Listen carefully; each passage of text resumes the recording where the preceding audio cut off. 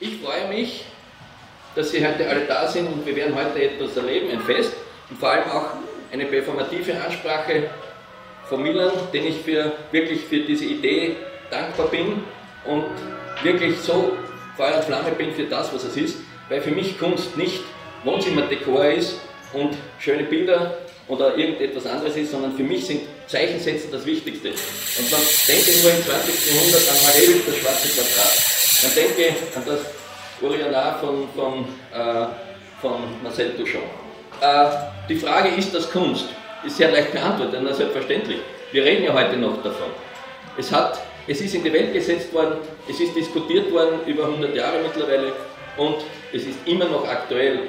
Und ich möchte heute auch, glaube ich, feststellen, dass wir hier einen Künstler haben, der auch Zeichen setzt und auch etwas tut, um innerhalb der Kunst und vielleicht auch sogar innerhalb des Lebens etwas zu verändern. Ich wünsche Ihnen einen schönen Abend und bedanke mich bei allen, die heute hier sind. Bravo!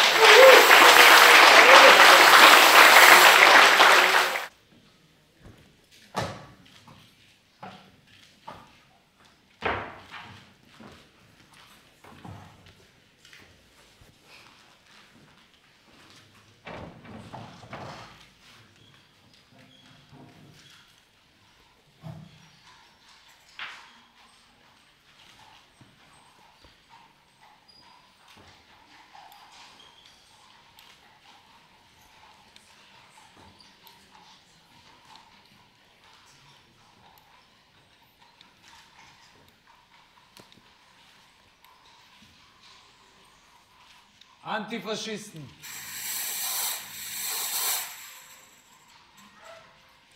Antinationalisten, Pazifisten und Humanisten sind heute die überzeugten Demokraten. Die Menschen sind verschieden. All die Interessen, all die Kulturen, die Sprachen, All diese Unterschiede machen es unmöglich, sagen Sie, eine allumfassende Zufriedenheit ist zwischen uns nicht möglich. In Ihren Ohren klingt es dann esoterisch allumfassende Zufriedenheit. Auch die Geschichte steht auf der Seite der Demokraten.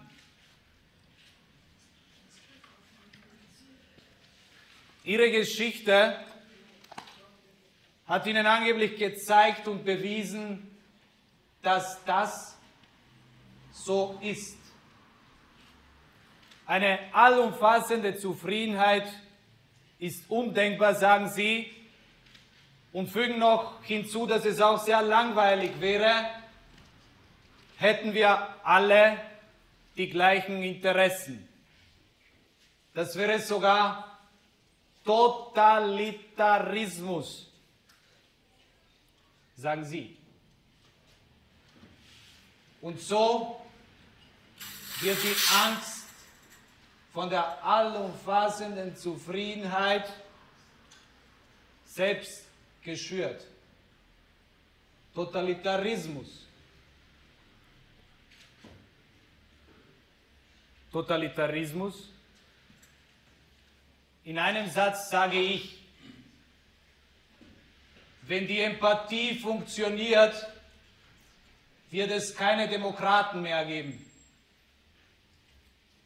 und frage mich, stammt die Demokratie von gleichen oder von diametralen Interessen? Sind die Demokraten vereint im Missverstehen der Demokratie? Sind die Demokraten vereint im Missverständnis an sich?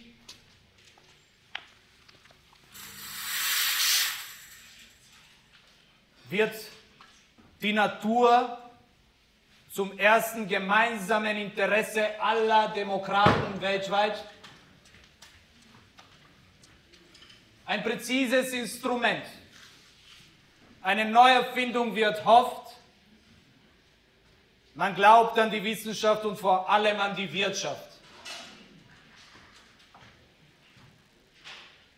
Sie vergessen aber, dass die Verehrung der Tücher, das ist die der Göttin des Schicksals, der Glaube an den Zufall,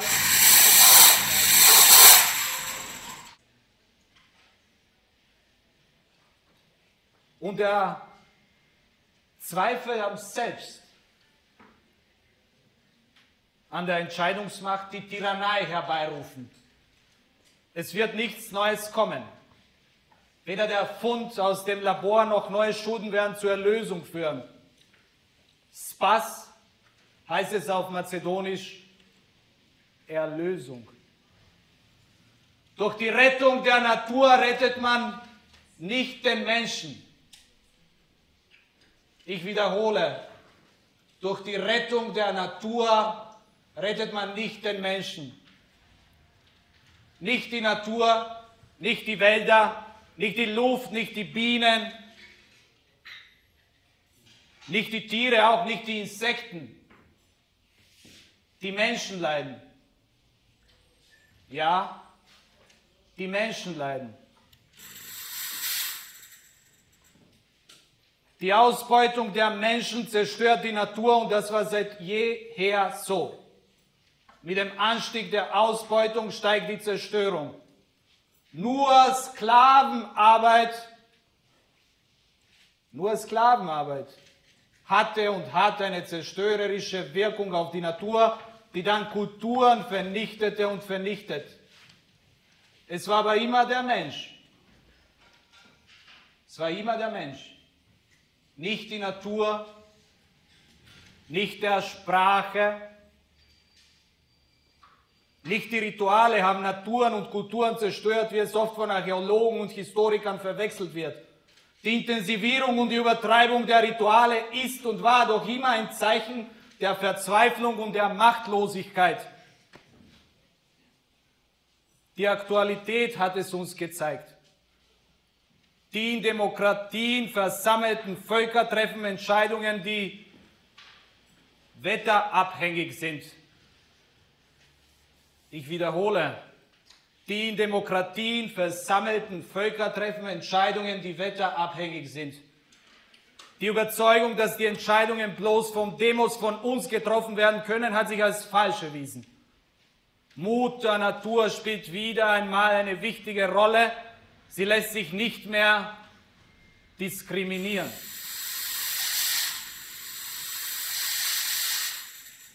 Es scheint uns, dass auch sie, die Natur, rasch in die Entscheidungsprozesse integriert werden muss. Die Klimaerwärmung schwebt über uns und der Himmel wird uns bald auf den Kopf fallen. Rufen Sie im Chor. Sie muss mitentscheiden. Ist oft zu hören. Wir werden überstimmt, sage ich. Die Rückkehr zur Natur ist der Zweifel an der Demokratie. Die Rückkehr zur Natur ist der Zweifel an der Demokratie.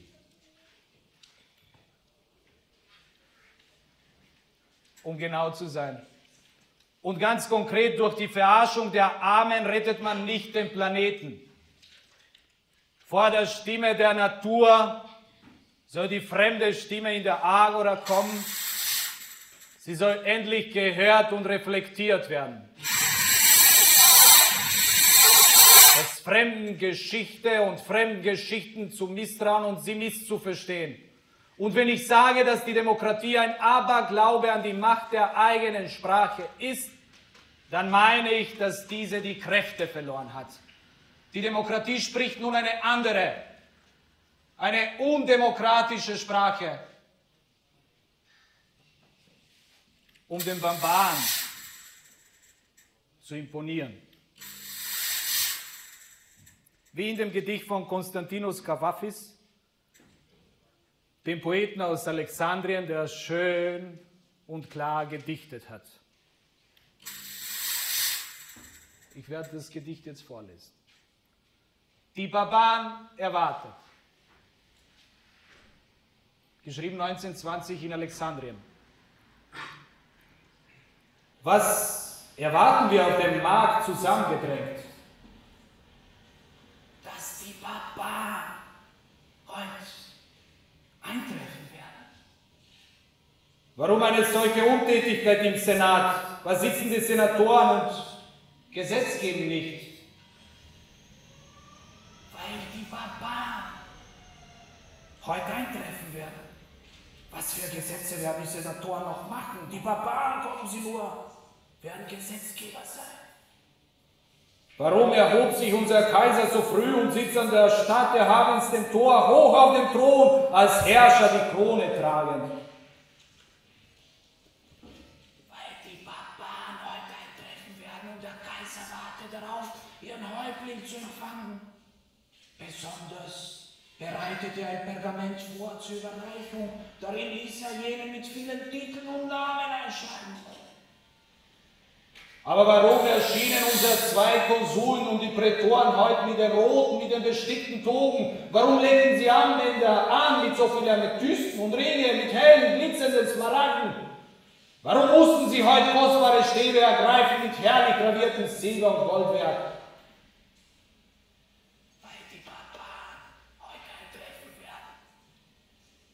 Und die Brühen beim Schulsprüchen und Volksreden. Warum auf einmal, dass diese Unruhe ausbricht und Verwirrung, die Gesichter, wie ernst sie wurden. Warum leeren sich so schnell die Straßen und Plätze und alles strebt in die Häuser sehr nachdenklich? Weil es Nacht wurde und die Barbaren nicht kamen. Und Leute trafen ein aus dem Grenzbezirk und sagten, dass es Barbaren nicht mehr gibt. Und jetzt, was so eine Barbaren aus uns wird?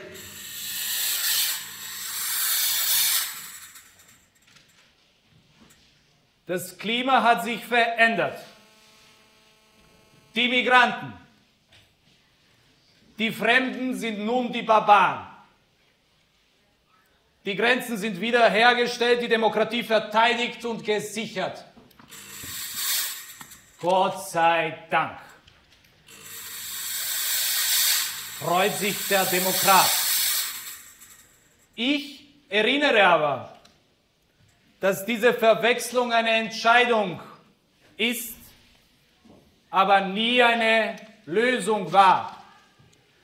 Natürlich, die Stimme des Volkes ist das, was gezählt wird und was zählt, aber ist nicht die Stimme des Volkes die Stimme der Barbaren selbst?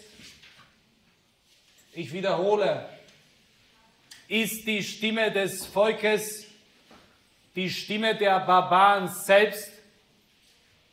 Ist uns alles klar und deutlich? Haben wir uns missverstanden? Haben wir uns geirrt?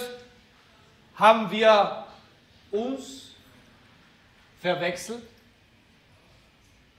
Barbarei ist Selbstbetrug. Die Täuschung des Selbst, das Barbarische. Barbarei ist die Verwechslung und die Zerwertung von allem. Die Lüge und die Wahrheit, die Kultur und die Natur, Glaube und Aberglaube, Überreden und Erkennen, Freundschaft und Arbeit, Barbaren und Fremde, Diktatur und Demokratie, Totalitarismus und die allumfassende Zufriedenheit. Alles wird vertauscht und verwechselt. Und genau diejenigen, die die Welt selbst verwechselt haben und verwechseln, all die, die das andere verscheucht haben, um den Disput zu ritualisieren, opferten auch die Empathie, Misstrauen dem Mitgefühl und erzeugen Alternativlosigkeit, Selbstschuld und Hoffnung. Alternativlosigkeit, Selbstschuld und Hoffnung. Und wenn man über sie spricht, dann muss man auch an die, an die Christen denken. An uns, sagen jene, die den Toten bejubeln. Jene, die die verderblichste aller möglichen Entscheidungen feiern, vergöttern und vergottet haben. Sie sagen, ja, es könnte für uns, für alle besser werden, aber das Volk hat demokratisch entschieden und dagegen gewählt. Es würde aber angeblich auch falsch gezählt. Ja, das ist doch unsere Geschichte. War das die allumfassende Zufriedenheit? Ist das etwas Göttliches? fragen mich auch die Demokraten.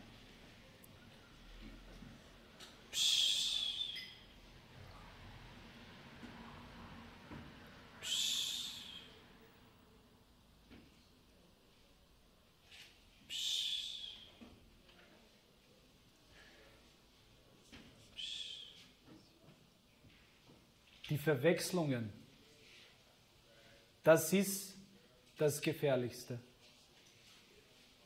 Nicht das Göttliche, nicht die Götter, nicht der Totalitarismus, nicht die Dämonen, nicht die Barbaren, auch nicht die Wirtschaft oder das Kapital selbst, nicht die Lüge, nicht die Natur, nicht der Tod, nicht das Fremde, nicht die Terroristen, der Islam, das Unbekannte oder das Ungehörte, auch nicht das Unaussprechliche, die Verwechslungen selbst.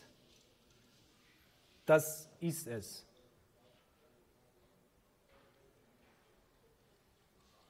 Die Verwechslungen regen die Natur auf, dann schlägen sie zurück und dann weiß man, man ist versklavt. Wenn, die, wenn man denkt, dass die Natur leidet und wenn man sie nicht mehr erkennt, dann ist es soweit, du bist versklavt. Und weder Christ noch Demokrat. Die Verwechslungen sind es. Und dann muss man lachen.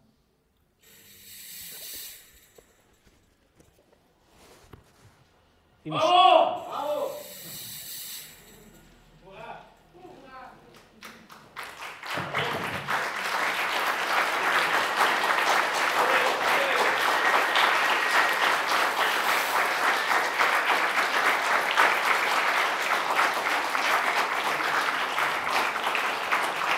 Weg, weg, weg, weg, weg, weg, na, na, na, na, na, na, bitte nicht, na, na, na, na, bitte nicht, sicher nicht, sicher nicht, na, sicher nicht, na, bitte, na, na, bitte, hör auf, na, bitte, hör auf. Jetzt ist, bitte, Heiduf, bitte, gib eine Sekunde, Ruhe, Ruhe.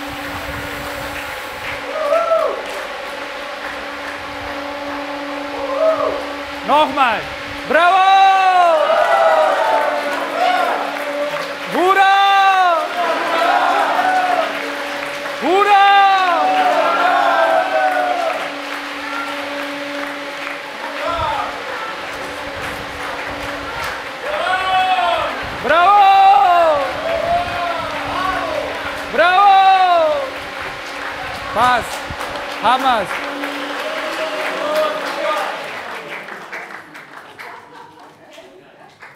Dankeschön.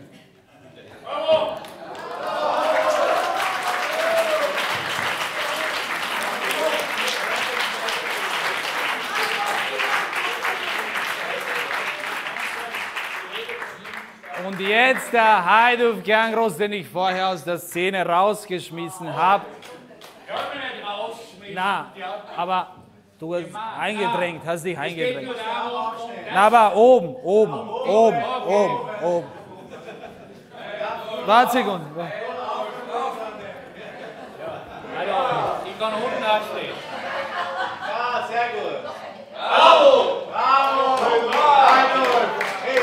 Es geht darum, dieses Ereignis heute zu dokumentieren.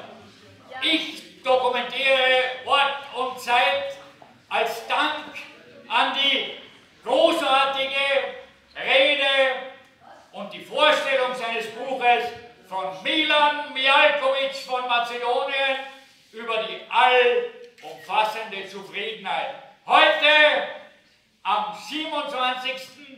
September 2019 um ca. 20 Uhr in der Galerie